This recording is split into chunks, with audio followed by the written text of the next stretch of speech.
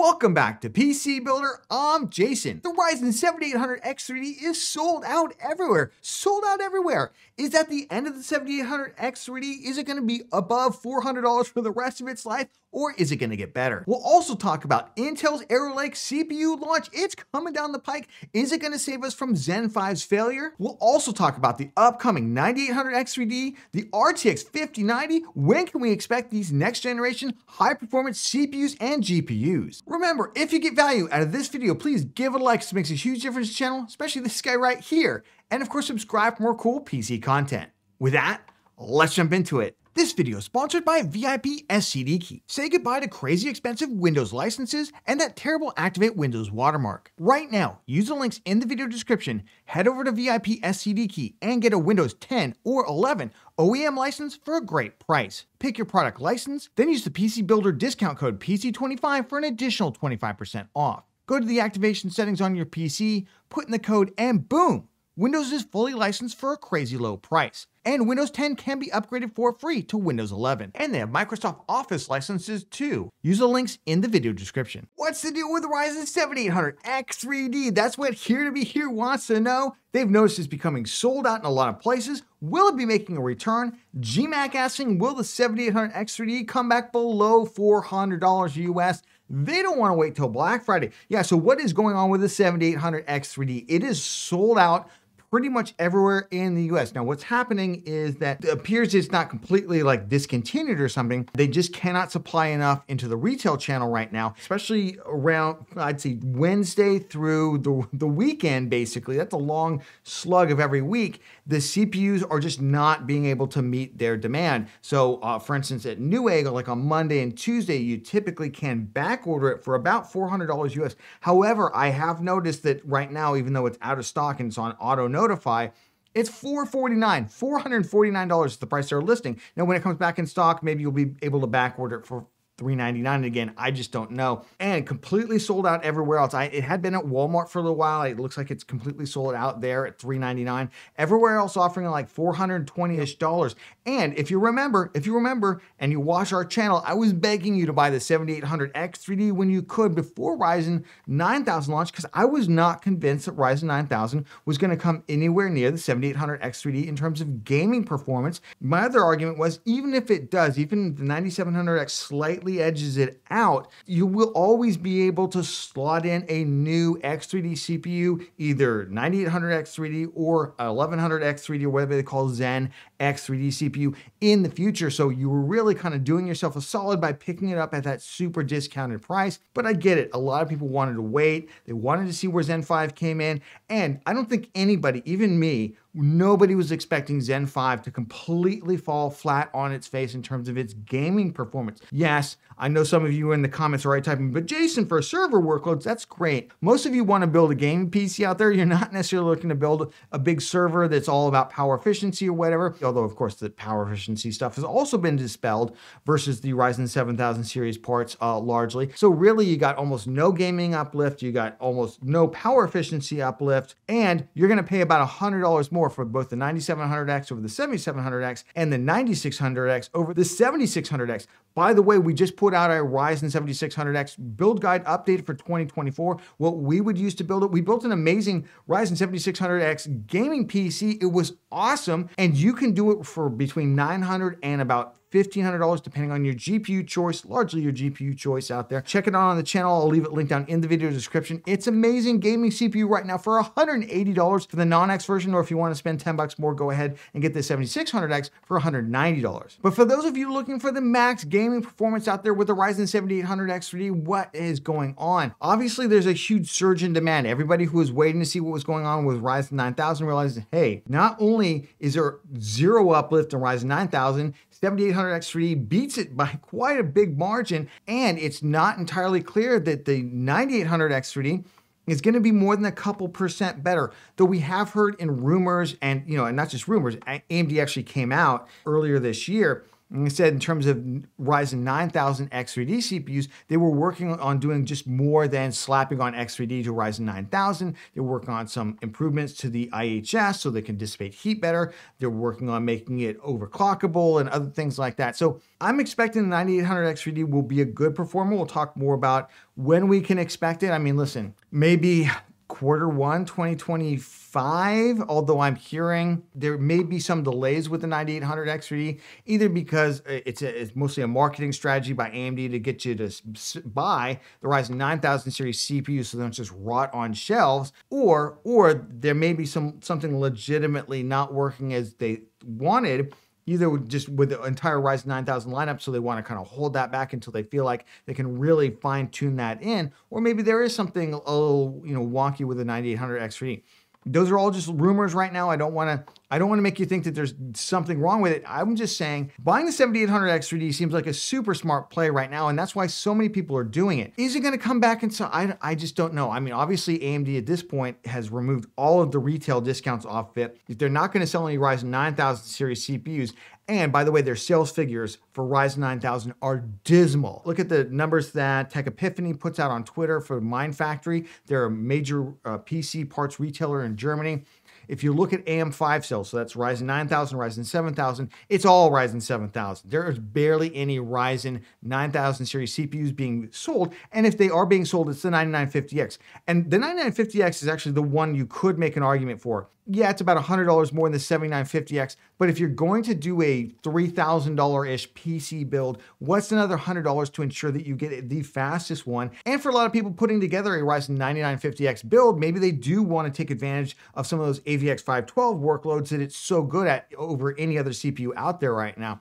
So that makes sense that that one's selling 9900X, no. 9700X, no. 9600X, why would you even think about it? Will it come back? We'll have to wait and see. I'll be honest, but I, I'm telling you right now, if you want a 7800X 3D, your best chance is probably to look for it on like a Monday or Tuesday. Snag it as soon as you can see it. I will leave links down in the video description to all the major US retailers that we have. You can check them all right now, see if they're there, snag it when you can. Jack Kunisaki asks, should people wait for the 9800X 3D and the RTX 5090? Oof. Ah, oh, man, that's a tough one. I got to tell you, the 9800X 3D, again, we're not quite sure when that CPU is going to be here.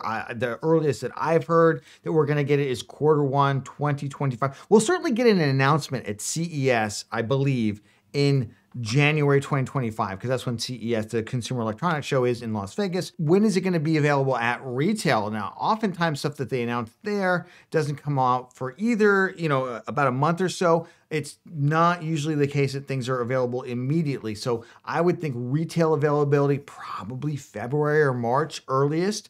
And then obviously the RTX 5090, who knows when we're going to get that. Uh, we've heard that there were some issues with Blackwell, uh, the architecture, but more on the AI side, not necessarily on the gaming side. Though the 5090 is a high enough end uh, product that there's a possibility that there were some issues there. There was basically delaying, and NVIDIA actually admitted there were delays on Blackwell, but on the AI side. The other thing that's going to delay you from getting an RTX 5090 is whether or not you can actually buy one, right? Remember when the RTX 4090 came out, you could not get one of those things unless you like camped out at a micro center and went day one. You like immediately got one on day one as soon as they went live because scalpers bought them all up. People were paying crazy prices. And this was for months. I'll have to go back and look at our GPU market update videos and find out where, where was the first month you were actually able to get one. I think it was because it launched in the fall of 2022. I think it was actually in the early part of 2023 was the first time we could actually grab one at retail without having to go basically through a scalper on eBay. So if that kind of sticks to the same formula for the 5090, especially given how kind of I think that people are really pent up in terms of like getting a new GPU that feels like a big uplift. The 4090 certainly felt like a huge uplift over previous generations. 5090, we're hearing is another kind of solid 40 to 50. Who knows about these numbers, by the way? But 40 to 50% would, I think, feel like another huge uplift over the RTX 4090 out there. If that's the case, scalpers are going to grab that thing. There's going to be a lot of excitement around it. You're going to have to fight them out for it. So you'll probably end up getting one, I don't know, in the early summertime next year. Uh, if that plays out, if it doesn't play out, if there's not the demand that I think there will be for it, then maybe maybe you get one, you know, somewhere on March or something like that who knows? So if you want to wait that long, that's a long time to wait. We're sitting here like at the beginning or middle of September right now. I don't know as I want to go that long without building my gaming PC.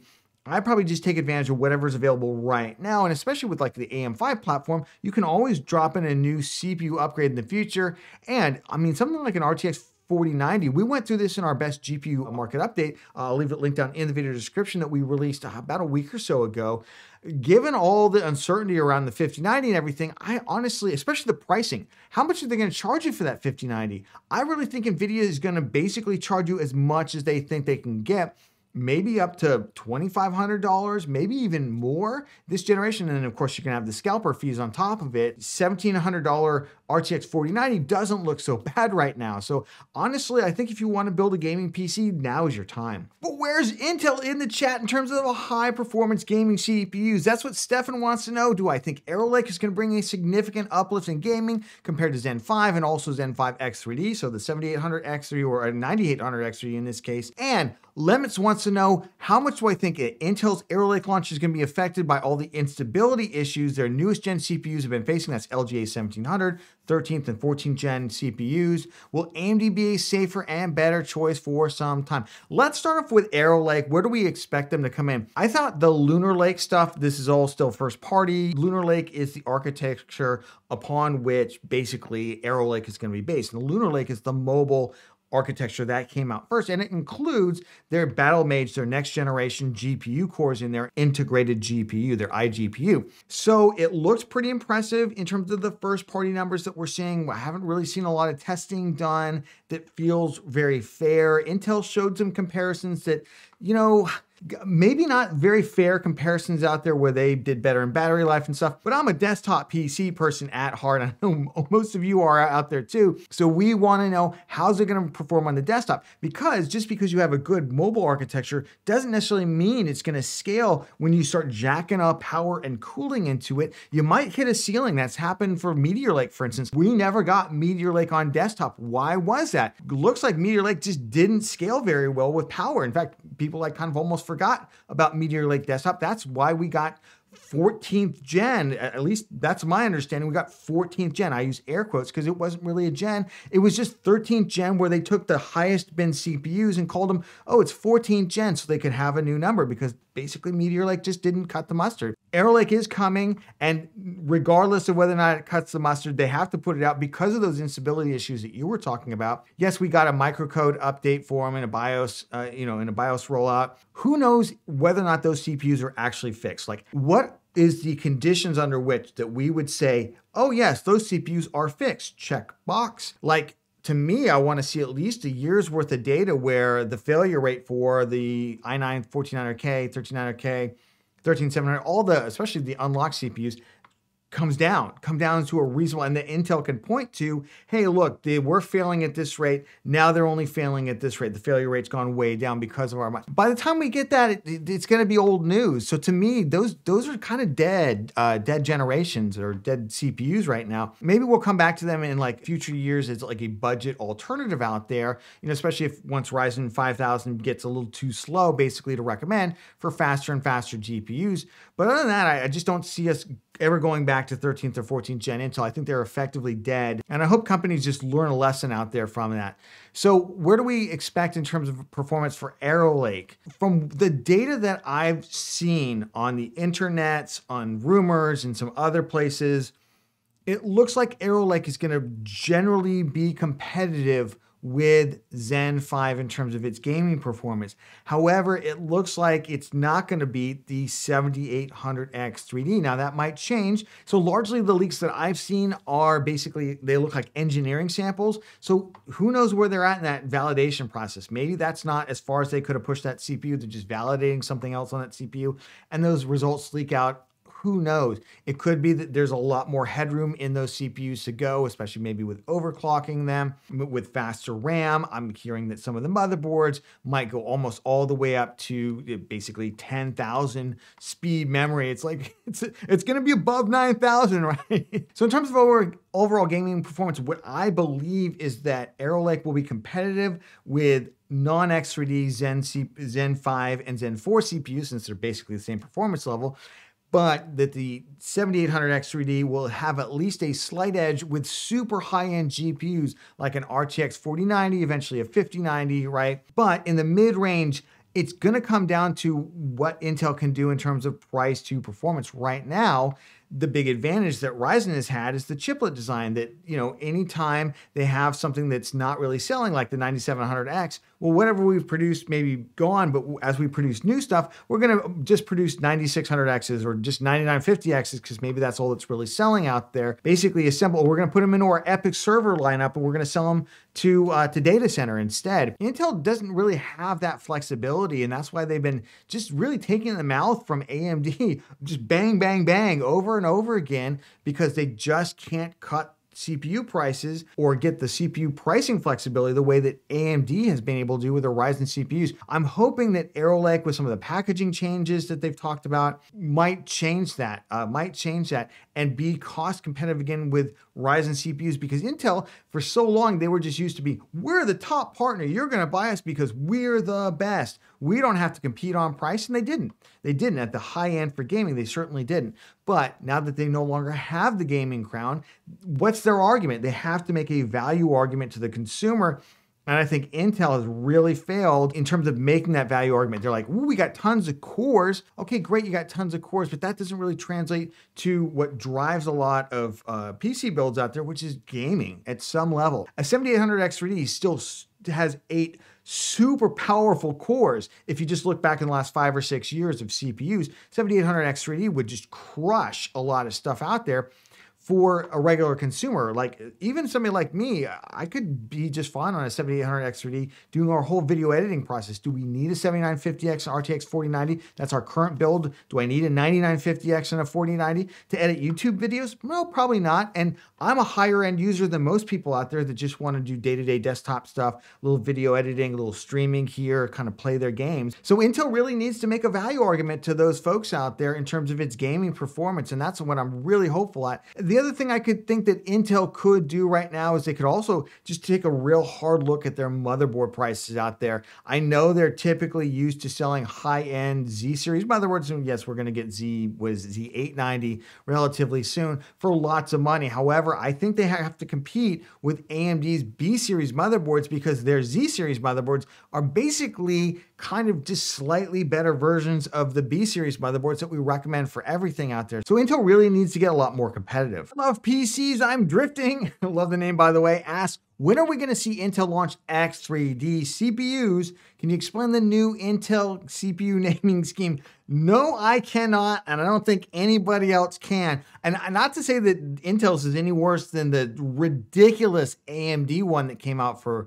their new CPU launches outside of the desktop stuff. I mean, they actually gave, AMD gave the press a decoder ring, a decoder ring to understand their naming. I just got to tell all you marketing folks out there, if you have to distribute a decoder ring to folks in order for them to understand your naming, maybe your naming is a little too complicated. Do you think that? You think that? And that's mostly on the mobile side. And I don't want to get into that kind of beehive, wasp nest craziness of AMD's naming, but Intel's naming, I get that they felt like the numbers were getting too high. 15th gen would be just too high. Would it though? I don't think so. What is the Intel Core Ultra XTX ZZXXX5? You know, I mean, these names are crazy and I don't like them. Number one, you spent so long building up the name i7, i3, i5, i9. You spent all this time building up a really solid brand around that. People understand what that means. They generally understand the i5s are here, the i3s are kind of weak, the i7s are like the stronger ones out there, and then the i9 is like the extreme. And also now you're going to come Core Ultra 9, Core Ultra this it's just stupid. It is stupid. I'm sorry. I just hate the naming out there. And I think more than anything, I just hate the fact that I'm going to have to say it over and over and over again in videos. I'm just going to have to say these names over and over again. I mean, look, it's not monitor names. I it's we're not yet at the at the craziness of those strings of letters and numbers that are monitor names. We're not there yet. My little rant here on that. In terms of Intel X3D, uh, Pat Gelsinger last year at Intel's innovation event, which they're not holding anymore, They're not holding anymore. Hold your PR event for crying out loud. How much money could you possibly be saving not to do Intel Innovation event? I, I think that's just a no-brainer, but clearly Intel feels differently. But in their Intel Innovation event from last year, I guess the last one that they're ever going to do, who knows? He was basically saying that they are working on X3D CPUs. They're going to do kind of their own flavor of it but there is going to be an increase in, in, in Vcache, basically. However, they're, they're a couple years behind. These, these processes that we see where CPUs are coming out now, they've been in development for a while. So just understand that years, years are going to go by before we see X3D. Now, will we see it with this generation of CPUs, the Arrow Lake ones? Will there be an X3D version of Arrow Lake? I don't know, possibly, maybe, or it might be in the what would be 16th gen, because this is supposed to be 15th gen, right? With the Intel Core Ultra 200 series. I think that's the name of it. With the next gen, maybe we'll get an X3D CPU. I certainly think Intel needs to do that. The one problem with the X3D stuff is that really the only that I can see, and let me know down in the comments if I'm missing something out there, the only workloads that really benefit from it are gaming. And right now, everybody's AI, AI, AI, AI, AI. So if it doesn't benefit AI, I just don't feel like they're going to put a ton of money and development effort and fast track that right now. They're like a bunch of lemmings chasing AI stuff right off a cliff because who are they going to sell this stuff to? What consumer wants to buy a laptop based on AI features, especially since they all seem to be about the same? So that's my rant about AI, by the way. I think a lot of these companies are chasing this stuff right off a cliff. I I suspect that's what maybe happened to Zen 5. I might be wrong, but I, I, suspect. Of course, for those of you who follow the channel, you know we just got hit by a hurricane here in New Orleans. Yes, Hurricane Francine came in, kind of punched us right in the mouth, basically. It landed as a category two. We were quite lucky in New Orleans. We got a lot of questions in terms of how exciting the hurricane was. And I just want to say, it sucked. It really sucked. There's really nothing exciting about it. You basically, I kind of wanted to almost do a whole video around our prep around it and everything. Let me know in the comments if you want, if you'd love kind of like a vlog, right? And of course, there's the kitties too. And the kitties, did not like the hurricane at all. I'll go Mr. Mr. Barry. And the kitties did not like the hurricane at all. And they certainly did not like when the power went out and they did not like the no air conditioning. They're already well insulated as it is with all this fur. And they just became like melted puddles basically on the ground. We're trying to keep them cool as best we can, obviously. It wasn't ridiculously hot the day after because we still had a lot of the cooling effect from the water, but it was hot. And then power came back on uh, that night and it was like, whoo. And then we all just adrenaline crashed basically for like three or four days. You felt like you couldn't get, get out of bed because you just been running in fight or flight mode for, for days at that point, And your body's just like, okay, the, the saber-toothed tiger has passed basically, the dangerous pass now you are going to shut body down and and rejuvenate. So that was what it was like to go through a hurricane. I don't really wish it on anybody. I definitely don't recommend it. Remember, if you got value out of this video, please give it a like. This makes a huge difference to the channel, especially this guy right here. And of course, subscribe and click that bell icon. That way you get notified when we release cool content. What kind of cool content? Well, did you check out our best September builds right here? We go through three amazing price points because it's an amazing time to build a gaming PC in September 2024. Check them out right here, and we'll catch you on the next one.